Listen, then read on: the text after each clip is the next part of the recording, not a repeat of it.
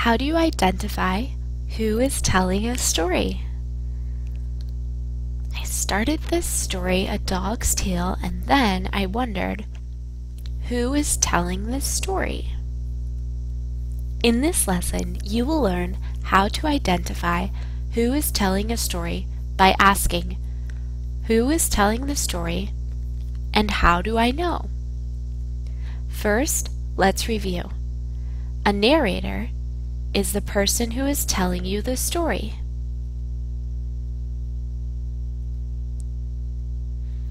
When a story is written in first person, that means that the main character will tell you his or her story.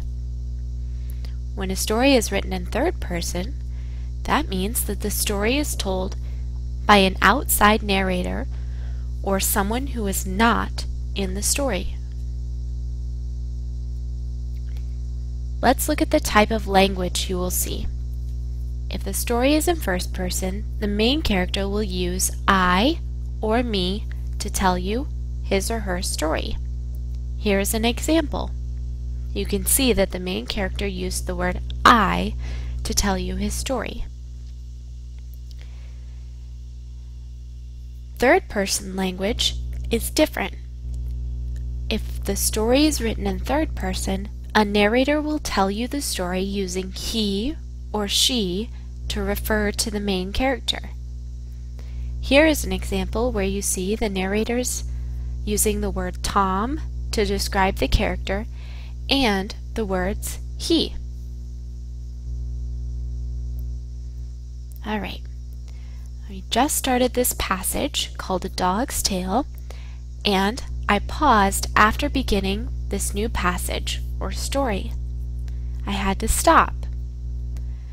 Next, I asked myself a question. Who is telling the story and how do I know? Before I can continue reading, I need to figure this out.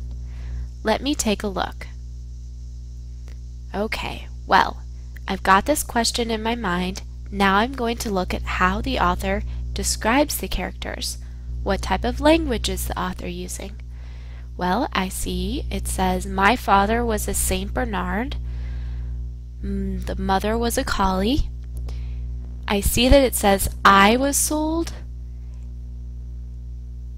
Alright, this is giving me an idea. I see the words I, and it's saying that my father was a St. Bernard.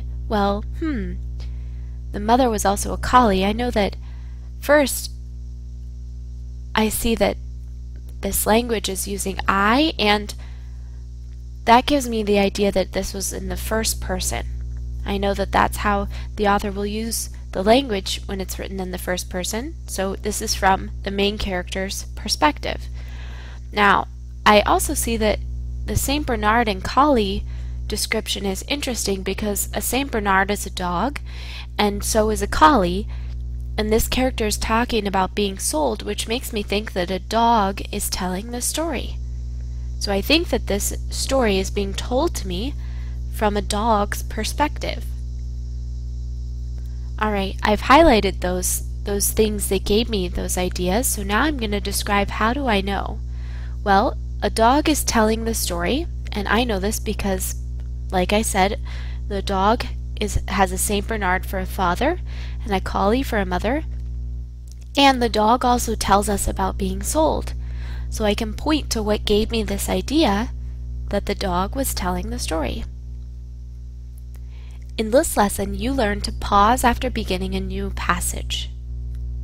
Next, you can ask yourself, who is telling the story? Finally, you can ask yourself, how do I know?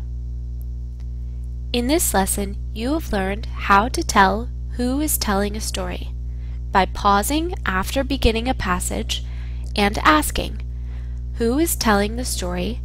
How do I know?